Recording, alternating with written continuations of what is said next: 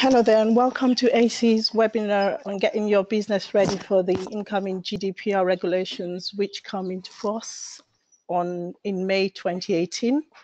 My name is Wendy Lesbick, and I'm the Director of HR uh, for the Association for Consultancy and Engineering. And I have here with me Chris Syder and Joe Vengadesan from Pennington Manches, who will be presenting to us today. Chris and Joe are both partners at Penningtons. They are a law firm and ACE affiliate. Before we start, I just thought it was important to um, set the ground rules for the webinar this afternoon.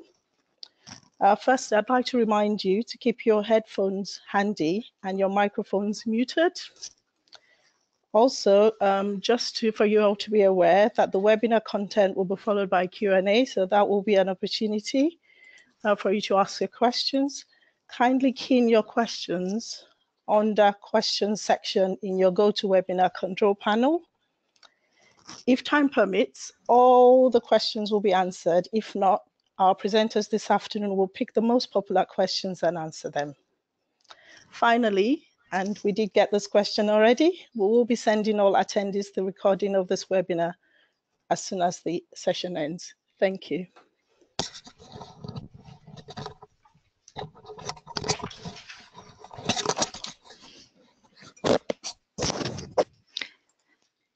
Thank you for that introduction, Wendy. My name's Joanne Vengadesan, and um, as Wendy mentioned, I'll be presenting together with my partner, Chris Syder. So um, just so you know, both uh, of us specialize in data protection from slightly different angles. Chris is an employment partner, and he'll be focusing on the data protection issues from an employee-employer perspective. And I um, focus on the data protection issues from a broader compliance perspective, particularly in relation to commercial relationships and general compliance. So um, that's how um, we will be um, uh, fitting in with your presentation today. Um, so I'll kick off with um, the overview. GDPR, what is it? Um, when do we have to care about it and why? As you'll probably know, the GDPR is a new EU regulation which is set to replace the current data protection laws. Um, this will work together with a revised UK Data Protection Act. Um, we know that even though this is European law, um, the government is very keen for the law to continue to apply despite Brexit. In fact, it comes into force directly as law in the UK on the 25th of May 2018, when we are still going to be an EU member state. So it will be law from then. Um, we have uh, received assurances um, from the UK government that uh, they want similar laws to continue to apply even in 2019 when we cease to be an EU member. So it's extremely important um, to understand that these laws are here to stay um, and it is important to start preparing to ensure that we comply. So why has there been this um, wide sweeping reform of the data protection laws? The motivation really was um, because the Data Protection Act, um, the previous laws have been in force for some time, um, and they're really rather outdated in terms of technological advances that have taken place since then. And the use and collection of personal information through technologies is far more widespread now than it was when the laws were, the, old, the current laws uh, were, were put together. So the aim of the GDPR is to achieve greater harmonization across the EU and also to ensure that individuals' rights are strengthened um, to, to, to ensure that organizations take due care of privacy when processing personal information. The reason it's so important, um, firstly, it creates an increased regulatory burden in terms of what you need to do in order to comply, and we will look at exactly how that, that is um, in this session. Um, and uh, the reason it's grabbed many headlines uh, across the press and uh, why so many organizations are um, paying it much more attention than the current laws is because the sanctions have significantly increased.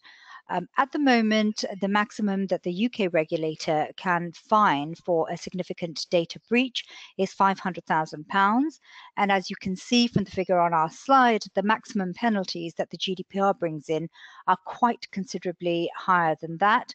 um, we're looking at maximum figures of 20 million euros at the moment or 4% of a global annual turnover of a group of companies. Um, we still don't know exactly how these fines will be enforced, of course, but um, we can see from the um, the maximum figures that are there that um, they're likely to be higher than what we're used to under current law, most certainly. In addition, we anticipate that there will be more claims from individuals, particularly because uh, they have enhanced rights and the increased transparency obligations on organizations means that individuals will be more aware of their rights and more likely to enforce them. And this picture overall creates um, a need for businesses to get ready to be GDPR compliant. So looking at some fundamentals of these laws, if you're familiar with the Data Protection Act at the moment, you'll be pleased to hear that the GDPR um, fundamentally maintains the same types of rules and approach, um, but it just describes them in a more granular way. So looking at how they've pretty much say the same. The concepts of um, a data controller and a data processor that um, exist under current law remain. A controller being someone who has a determining role on why and how personal data is processed and used, and a processor, data processor being a party that just performs acts in order to, perform, to provide the service to the controller but having no independent determining role on how um, that data is processed. So, so these two types of um, roles are still maintained in the GDPR. The GDPR places most compliance obligations on a data controller, but brings in some new direct obligations on a processor. So if you're a processor, it's, it's particularly important for you to be aware of those. The overall core principles um, of fairness, having reasons for why you're processing personal information, being proportionate um, in terms of the information that you capture and use, um, some regulations on transferring that information outside the European Economic Area. Um, these sorts of rules will still apply.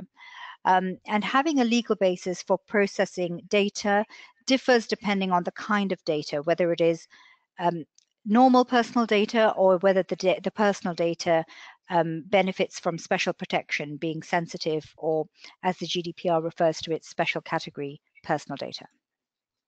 So um, personal data is is um, pretty much the same as in current law, data relating to a living individual who is identified or identifiable. Um, and you can see from the information there that it's it's fairly wide. Um, it includes things like expressions of opinion about the individual. When we when I say processing within the meaning of these laws, it is a, a, very broad term. It means pretty much anything that you can do with personal data, holding it, storing it, deleting it, archiving it, sharing it, all those sorts of things are encapsulated within the term processing um, changes that the GDPR brings in. It confirms that um, uh, the, the, definition of personal data is expanded slightly to um, specifically refer to things like online identifiers. When it comes to sensitive personal data, we will now be referring to these as special category data. Um, and even though the way that they are treated is slightly different in terms of expression in the GDPR, um, basically they do still receive special protection and you still need to have different and much more specific reasons for using this kind of information. And Chris will comment on this further in the employment context. Um, so the two new categories have been added as special category um, data.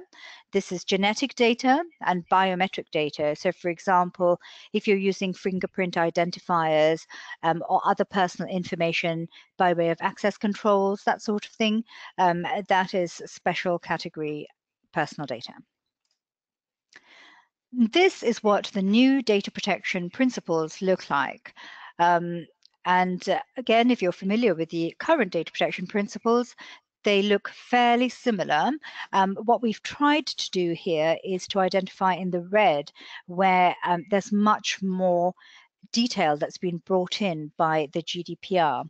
Um, so I will just focus on highlighting these aspects. One of the really important things to understand is the concept of transparency. Um, it is becoming much more important to know exactly what and why you're doing with personal information so that you can be transparent to individuals about it. With data minimization, this is really the the, the concept of not processing more data than you need. Um, you need to consider this um, in quite um, a, a, lot of detail to work out if you can use techniques to minimize or pseudonymize the information that you collect. Um, and uh, integrity, um, it really relates to the security of the systems and um, measures that you take to protect that information. Um, there's a, one further principle that's been brought in really, which is which is accountability.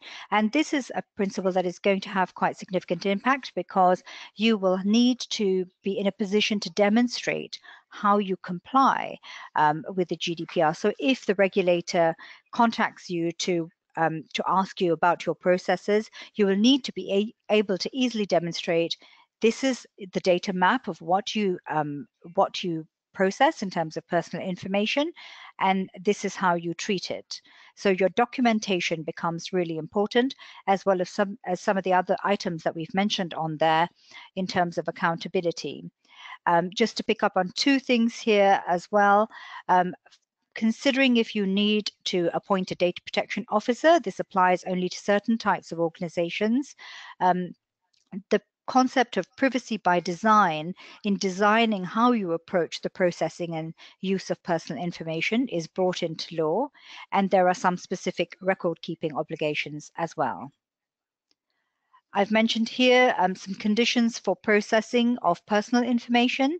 And just to pull out here that we need to look at where we rely on consent much um, more carefully as the ICO, our UK regulator, is very clear that consent should not be relied on unless um, there is no other more appropriate legal basis, such as the ones we've mentioned on this slide just to um, spotlight on the rights of data subjects, individuals have existing rights under um, the Data Protection Act, which you can see here, such as to object to direct marketing and to access information. These ways, uh, th these rights have been um, crystallized and strengthened, for example, in terms of the timescales that you need to respond. And there are also new rights that are created, such as the right to be forgotten um, and the right of data portability, which means um, having access to the data that is held about you in a way which enables you to contact a new service provider. This is relevant in some circumstances. Um, and uh, it's important to understand that there are also exceptions to these rights. So I'm now going to hand over to Chris, who's going to focus on the employment fundamentals.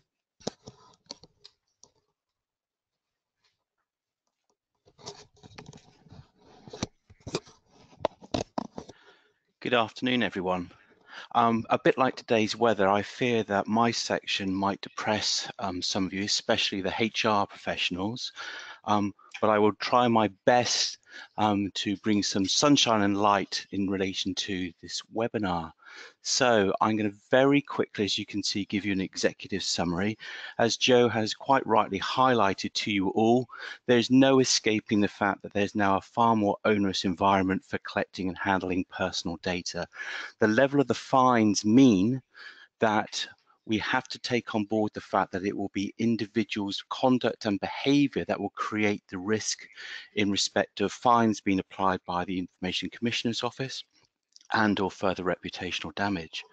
Um, as you can see, I'm highlighting this applies to all businesses. So those of you out there from small consultancies, I apologize now. There is no escape in respect to the GDPR, even if you are at the small end of the SME for the HR professionals, I'm highlighting here to you on the third bullet point that it will require changes to HR policies. The obvious policy will be your existing data protection policy, which for many will not have been reviewed for many, many years, um, and it will be probably um, hidden well within your staff handbook, but it's absolutely clear that before the 25th of May this year, that policy needs to be reviewed. As a result, a number of other policies will need to be considered as well. Now, in short, what I'm saying to you today is that all ACE members process the personal data of the following, not just candidates, but you're also processing the data of employees and workers, former employees and workers, and of course consultants. And this is irrespective of other activities within your businesses. So from a HR perspective, collaboration within um, your organizations is absolutely vital. This is not an exercise where HR alone can ensure compliance for the organization. And I say that in particular when it comes to data mapping and understanding what revisions need to be made to relevant policies.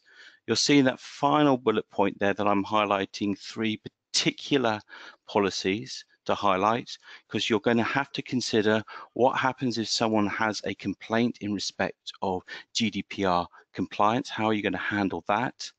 You're also going to have to consider whistleblowing with regard to if there is are concerns about breach of legal obligations, especially if they are in the public interest. And of course, perhaps more importantly, you're going to have to consider ensuring that your disciplinary policy um, is up to date in respect of if you do have a breach scenario as a result of the misconduct of an employee. So quickly now moving to the use of consent clause, clauses. And this is where I hope I can bring some sunshine and light and tease myself in respect of as an employment lawyer. For many years, I've been inserting into employment contracts on clients' behalf a data protection clause, which invariably no one wants to read, let alone get to grips with its true understanding. What I have to say to you today is the fact that those clauses in existing employment contracts, in summary, are not worth the paper they're written on from the 25th of of May onwards and will therefore require um, some thought and consideration as to how you're going to move towards compliance with the GDPR. The reason for that is, is very simple. It's very clear that compliance of the GDPR is going to make the use of consent in respect of employment contracts incredibly challenging because there is an inherent balance of power. And that is not what um, the GDPR is about because this is about rebalancing the rights of individuals, not employers.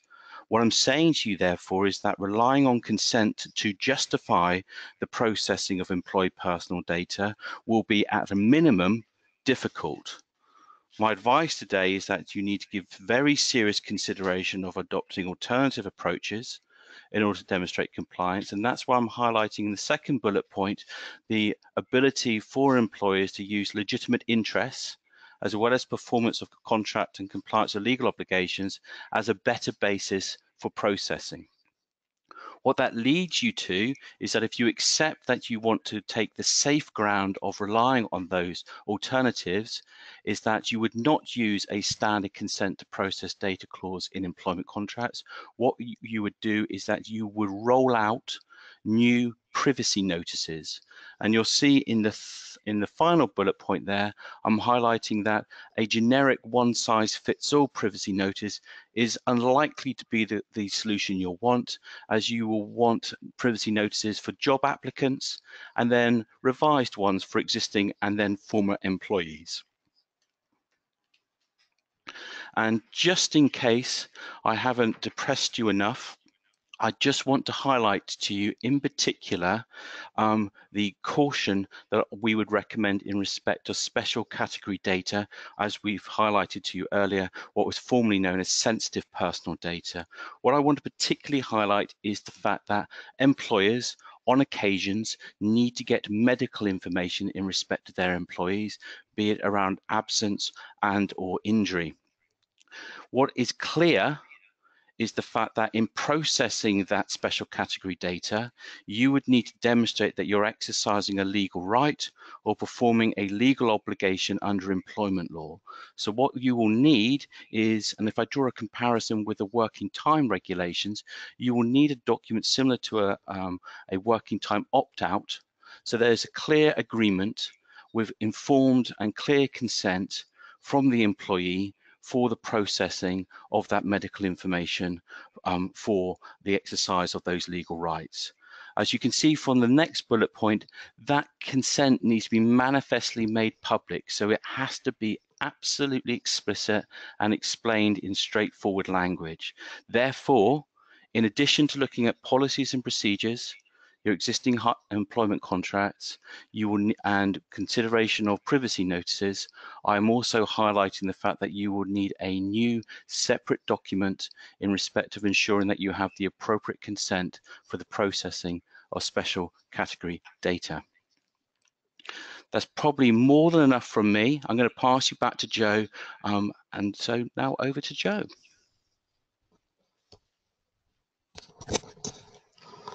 Thank you, Chris. Um, so the GDPR is um, going to affect a lot of different areas of a business's operation. And one of the things it brings in um, is extraterritorial effect.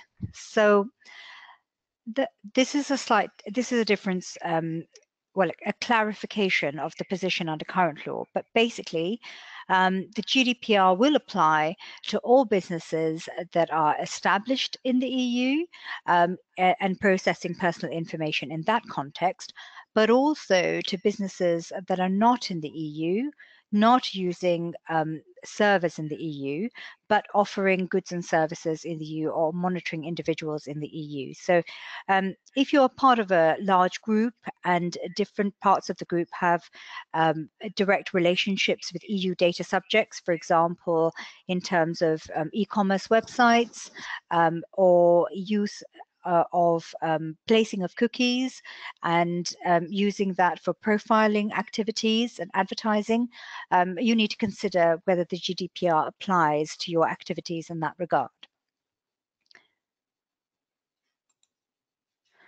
So I, I want to focus on data breaches because this is another important change in the law from the GDPR. Um, under current law, if you suffer a data breach, for example, um, your personal data that you're processing has been lost or hacked or misused in some way, at the moment, there is no legal obligation to notify the regulator. This is going to change. Um, the GDPR brings in some specific situations where you need to tell the regulator and also tell individuals who have been affected by the breach that has occurred. Um, and the, the, the, these requirements are quite stringent. So looking at them in more detail, mandatory notification of security breaches without undue delay um, and no later than 72 hours. This is not all breaches. Um, it's only really um, significant ones which cause a risk to people's rights and freedoms. Um, and there's some guidance actually um, on the Information Commissioner's website about um, eh, guarding against um, the feeling that you need to report every single breach. Um, that being said, you still need to be in a position to deal with the significant breach if and when it occurs. Um, because if you notify the regulator late, even that alone could be an offence under the GDPR um, that could cause a fine. So late notification is only acceptable if there is a proper reasoned justification for your delay. Um, and it's not a reason to be late in notifying that you haven't yet got all the information about the breach. The um, the regulator expects you to act quickly in notifying, and if you you need to follow up with further information about exactly what has happened, you can do so.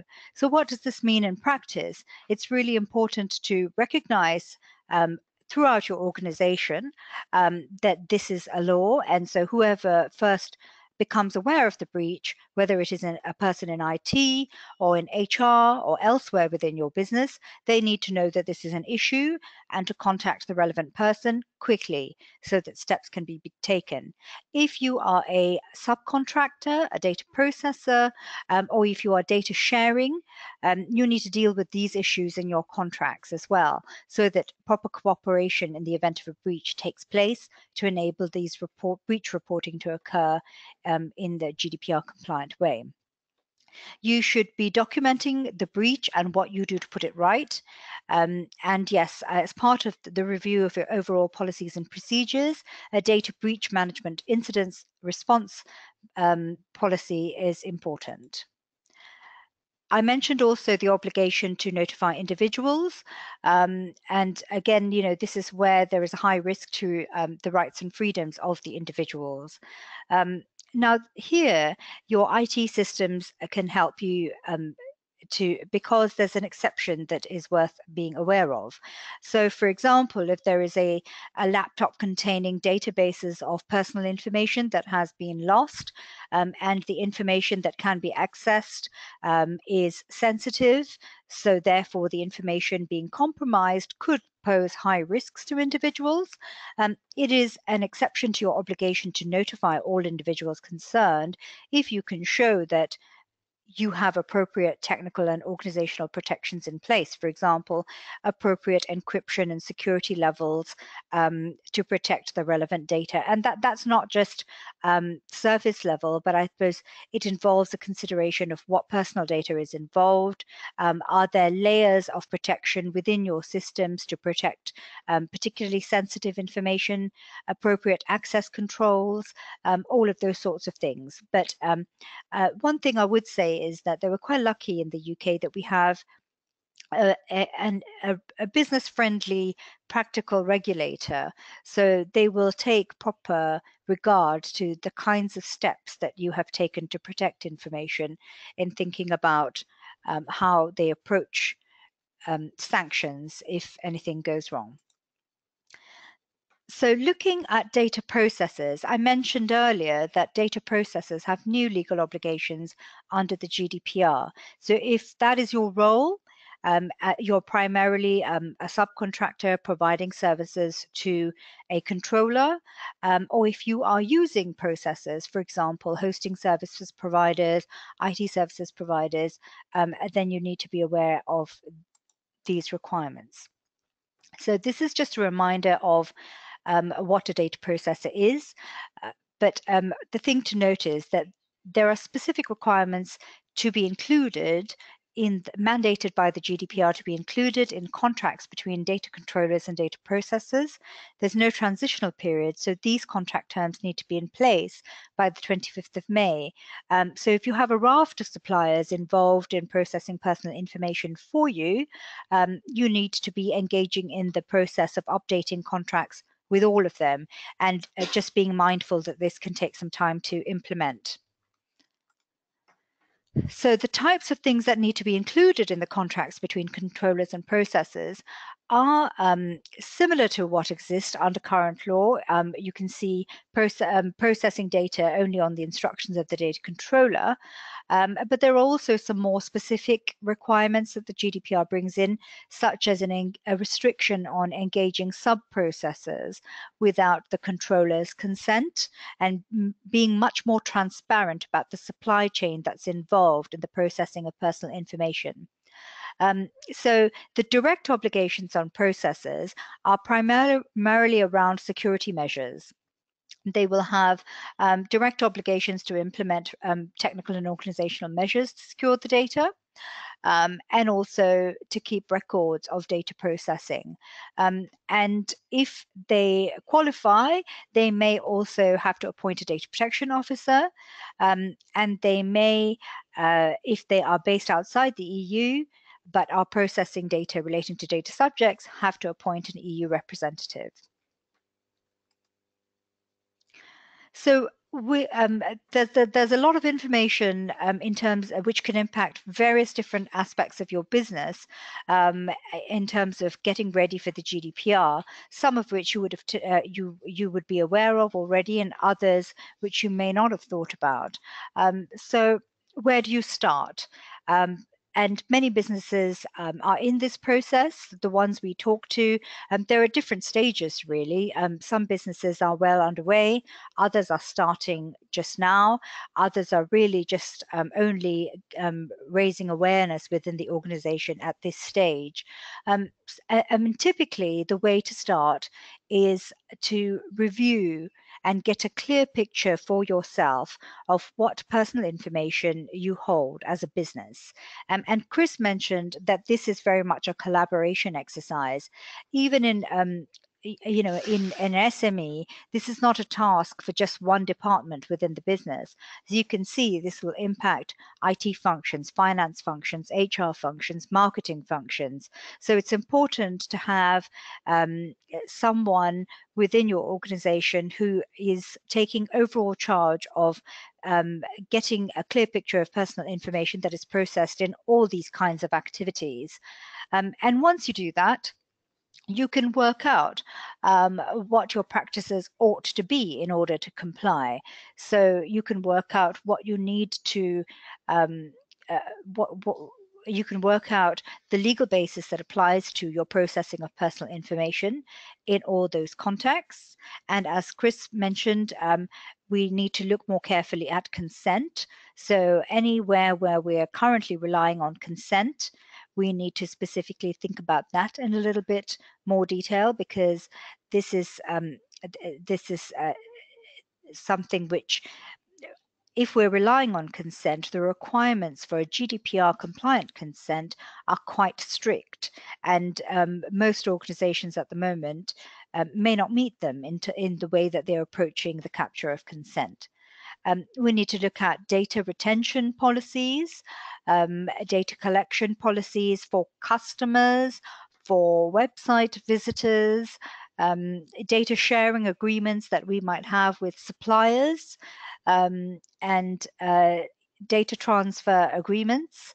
We need to look at um, where we're processing personal information in different contexts and make sure that our policies address those contexts. Um, and uh, and hand in hand with that we need to look at the practical steps that we take um, to protect that information. Um, so how do we how do we secure that information? And how do we um, how do we ensure that when it comes to the the point at which we no longer need that information do we have a process to to, to deal with that um, in an appropriate way so really um, taking a step back, um, some key preparation questions that we thought we'd, we'd set out um, at a high level. What personal data is processed within your organization? Where is it? Where is it transferred to and from? In particular, to identify any cross-border issues and any third parties who have access to personal information and the security aspects of it. Um, and that will enable you to get a picture of what steps you then need to take to to um, ensure compliance. I've set out here a couple of articles um, that uh, we've written, and also um, the the UK Information Commissioner's website has got a lot of information that is available for um, for businesses in terms of getting ready. And in particular, I wanted to mention the 12 steps to prepare that they have um, they have issued, which is uh, uh, which says in a similar way to to what we've done here, um, what you can do to, to to get yourself ready on a high level. Um, and they've also issued a fairly detailed guide to um, GDPR obligations for organizations to help them to comply. So we've left sufficient time to take questions um, and um, Chris is going to have a look at what questions there are and kick off with that. Hi, Joe. Yes, um, there looks like, despite my initial depression, um, that there's a couple of questions already for myself from the employment angle. So, Joe, if it's okay, I'll give you a quick break. Um, first question that's come in, it regards consent. And quite understandable question about how do we deal with existing staff. Um, and the question basically is, will we need to get all staff to sign new consent forms? So really in respect to that question, it breaks, it breaks itself down to two aspects. So in dealing with existing staff, what I would expect is at a given point before the 25th of May, the business will notify all staff of the necessary changes as a result of the GDPR. Um, there's no prescription as to how a business does that, but there will need to be a form of notification, not, not least as there will need to be the rollout perhaps of some new HR policies, for example, and therefore we would expect there to be an information sharing exercise. When that occurs, it's common sense then at that stage to also be explaining and set the expectation that there will perhaps be a new privacy notice for all existing employees, which they will need to sign up to for the processing of their data. Um, life might then become a bit more challenging if you have employees saying they won't sign those privacy notices, but let's be optimistic and work on the basis that they understand the reasons why and that they are completed. Um, the second aspect is um, in relation to getting all staff to sign new consent forms. I just reiterate, um, my advice basically is, is that consent is going to be very challenging in respect to generally processing employee data. I would uh, highly recommend serious consideration to using the use of legitimate interests, which lends itself to giving all employees a privacy notice with an explanation of what it is and a, requ a requirement that that is done before the 25th of May. Um, the other question immediately that's come in, um, again related to the HR side of things, is along the lines of was read somewhere about linking breaches of GDPR to disciplinaries.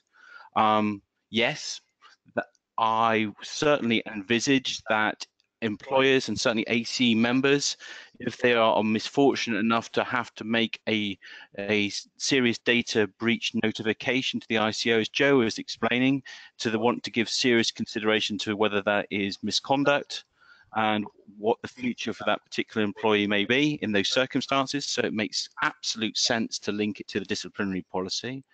Um, and the other aspect of this question is, um, about rewarding staff for complying with the GDPR. What do, what do we think of this?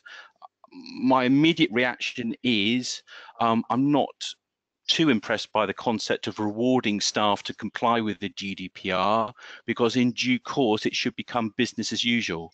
So if I apply the current situation under the Data Protection Act for the last 20 years, we have not been specifically rewarding through bonus or incentive um, arrangements staff to comply with the Data Protection Act. So Joe, I've got a question here for you, um, very straightforward one, but very pertinent one, asking can ACE members still buy marketing lists? Yeah, yes. Um, so I, just to just to pick up on the earlier question about um, uh, disciplinaries briefly um, before I go on to, to talk about the marketing lists point. Um, I just wanted to pick up on the importance of employee training. Um, so we've had issues where I have been working quite closely with um, a member of uh, the employment team in the context of a disciplinary action that was being taken, or a warning that was being given to an employee um, relating to data loss. Um, and I think it's quite a useful story because um, it shows how staff members um, have been with all the best will in the world, can cause a, cause a data loss and um, a significant one which causes a, a breach um, but how the regulator approaches this if you have taken a, um, appropriate steps to train. And this was just a, a situation where um, staff wanted to carry out work offsite on a um, on a database which involved um, personal information download the, that information onto a USB stick and that was subsequently lost, containing a lot of personal information, including relating to um, health issues. Um, it was very helpful in that situation to be able to show in detail the training that the specific employee involved had attended. Um, so just on the question of marketing lists, this is a hot topic for, um, uh, for in the, with the changes of the Data Protection um, regulations, and there are some more laws that are coming into place um, that uh, impact this as well. So with marketing lists, um, it, uh, the the marketing data that you could buy could be um, could differ in in various ways. It could be business to consumer or business to business. I'm assuming here that you're probably dealing with business to business. Um, so marketing lists um, containing postal addresses and names for non-electronic marketing um, the rules don't greatly change for non-electronic marketing um, it's just that the individual has got to um, has got the right to opt out. Um, when you're using this uh, marketing lists and you're buying them, um, you need to show diligence in terms of the source of information and also think about um, whether or not you really are going to be able to use that information um, going going forward um, because you need to okay, so let's say there's a database of um, finance directors, um, their companies, their postal address, and their email address.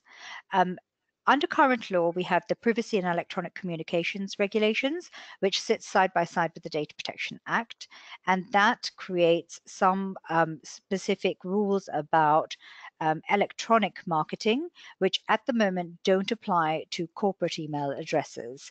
Um, they don't apply to, um, in, in the sense that they don't require the specific opt-in for emailing to corporate addresses.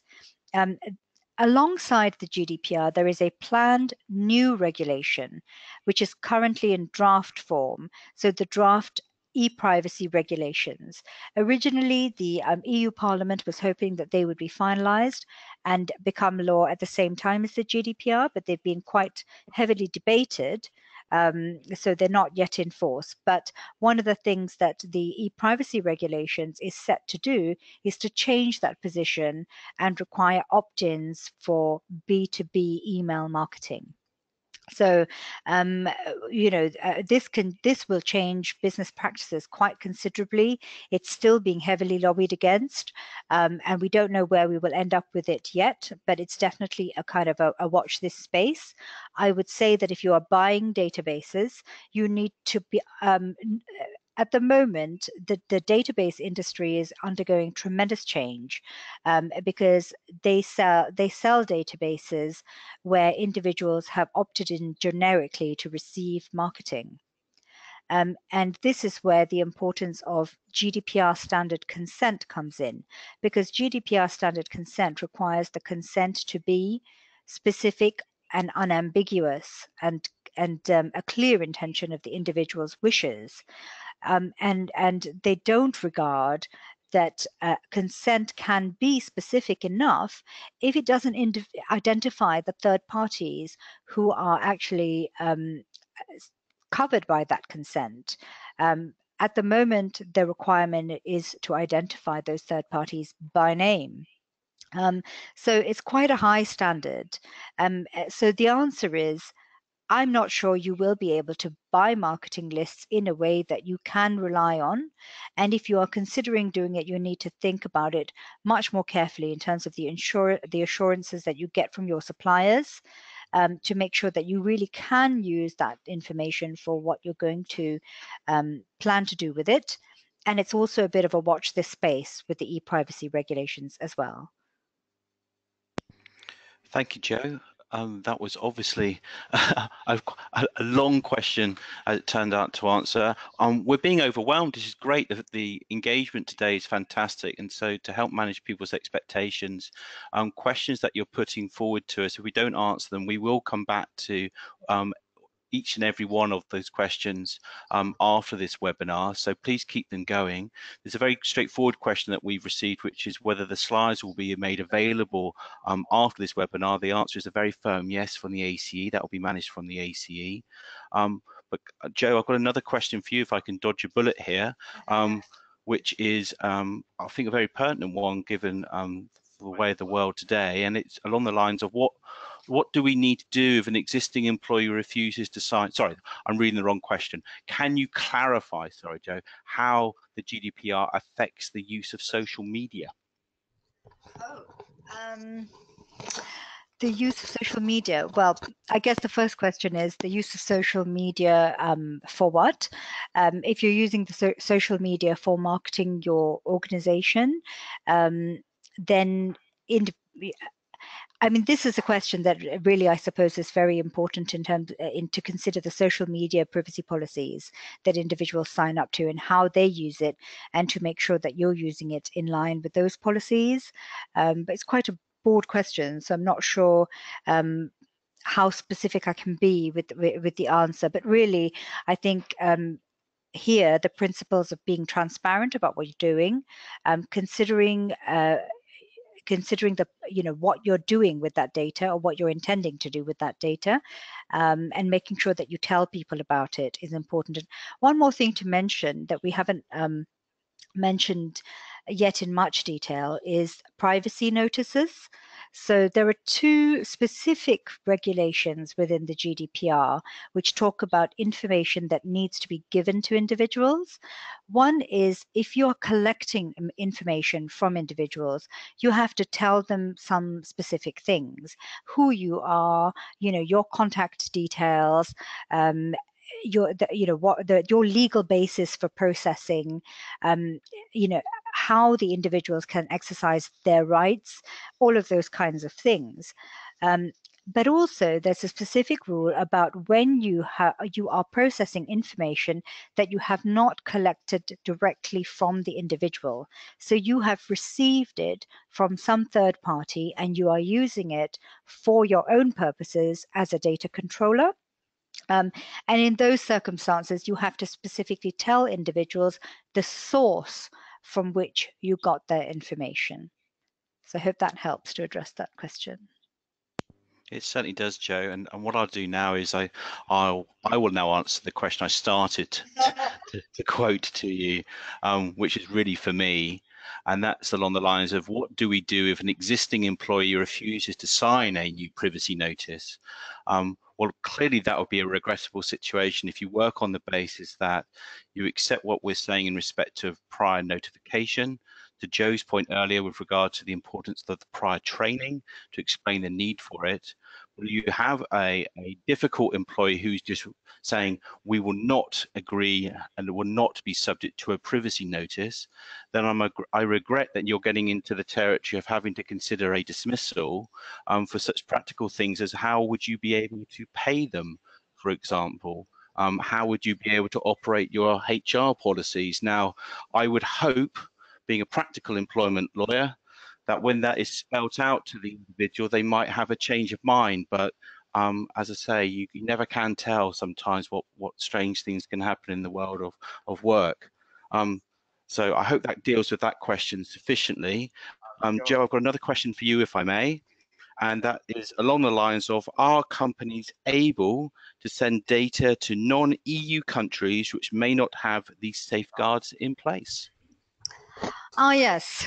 So this reflects um, the position under current law, which is that you cannot transfer personal information to non-EU countries um, without ensuring that um, there are adequate steps in place. And so one of the things that you that, that um, I think the question was alluding to was there are some countries that have been regarded as safe recipients. So if you have a, um, a contract with a data processor located in New Zealand, you don't have to worry about that because they've got great data protection laws that our um, EU regulators think are, are absolutely fine, which means that um, they regard the data as being sufficiently protected if it goes to countries like that. So New Zealand, um, Canada, there's a handful really of them. Um, other countries like the US, India, China, um, uh, you know, elsewhere in the world, um, which are not on the white list that has been issued by the EU, you need to take further steps. So these steps can be, um, can uh, uh, there are different types of things you can do. Um, the most common is to ensure that um, there are contractual safeguards in place. So at the moment, there are some approved forms of contracts which can be used between you and the data recipient, um, which basically means that the data recipient contractually agrees to treat that data in accordance with EU data protection principles. Um, uh, th th there's some issues with the use of them because they're currently being challenged um, in the European court. Some of you may have um, heard in the press um, a few years ago about the safe harbor. Um, the safe harbor was a system of self um, certification in the US, meaning that if you were transferring personal information from the EU to the US, um, an organization in the US could self-certify that they would adhere to the EU data protection principles and thereby be able to be a safe and acceptable recipient of that personal information. That was challenged and fell through. Um, and there's a new system called the Privacy Shield for the US entities. So if you're transferring data to um, a Privacy Shield authorized entity, that is again acceptable. But I would say um, whether you're using the model clauses or transferring data to a privacy shield accredited um, entity, um, this again is a watch this space environment because the current model clauses um, are still a valid way of um, transferring data to a non-EU recipient, but they are drafted to work with the Data Protection Act and other current such laws, we will expect new GDPR compliant ones to be issued. Um, and when that happens, you will have to update your clauses with the um, with the new ones um, for your processors or, or other controllers in different parts of the the world. Um, and uh, for the privacy shield, uh, I think if you are transferring data to a US entity, it's worth asking them if they are privacy shield um, authorized. So if you're selecting um, a, a, hosting provider um, for the group overall, um, and you have different parts of the group located within the EU and outside, um, if you're if you're unable to select hosting in the EU only, um, and you need to go to the States for whatever reason, it's worth selecting a Privacy Shield accredited um, provider because that is something that will facilitate the data transfer. Thank you, Jo. Um, Jo, um, there are loads of questions that are coming in for you, so I'll let you draw breath, but it's actually a follow-up question on the flip side of a question that you just answered a, a moment ago in relation to privacy notices. So the follow-up questions come in, will this mean that when I receive a call from a third party, will they be legally obligated to advise me where they obtained my details? Uh, yes. Um, they should. They they should do. Um, they um, yep. They should tell you who they are, where they got your. Uh, they, they, may not tell you on the phone call. They may. Um, I don't think that is an obligation. The obligation is to make sure that um, they give you a notice. Um, so if you if you want to know more information, um, they, you know they can send it to you as a follow up email. Um, but yeah, it's a challenge if you are. Uh, but from a consumer perspective, it's useful because then you are able to track who may have then supplied data of yours to someone else without your permission. And I think this is part of the strengthening of rights of individuals that the GDPR is all about.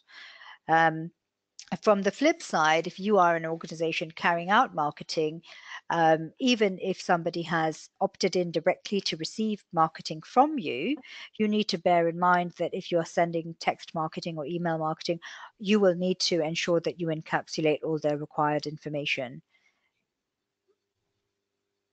Okay, doke. Thank you, Joe. Well, don't rest there.